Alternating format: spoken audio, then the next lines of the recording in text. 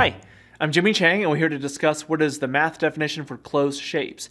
Now, whenever we're talking about closed shapes, more often than not, you're talking about this one fundamental idea, and that is the polygon. Now, a polygon, uh, short definition of that is a closed geometric shape. So it's a closed shape uh, consisting of various line segments. Now, depending on how many you have to work with. So, for example, if you have a triangle, a triangle is a polygon because it's a closed shape with three line segments uh, connected together. If you have a square or a rectangle, that's a closed shape because obviously it's closed and it's made up of four line segments. Now, if you have a pentagon,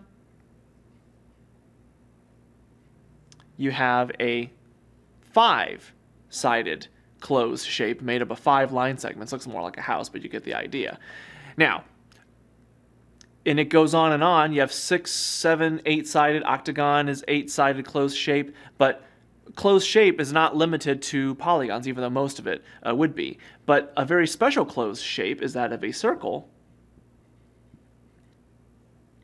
because a circle is considered a closed shape, but a circle is not considered a polygon because a circle is not made up of line segments. So whenever you have a closed shape, it's either going to be circle or a polygon. So I'm Jimmy Chang, and that's the math definition of a closed shape.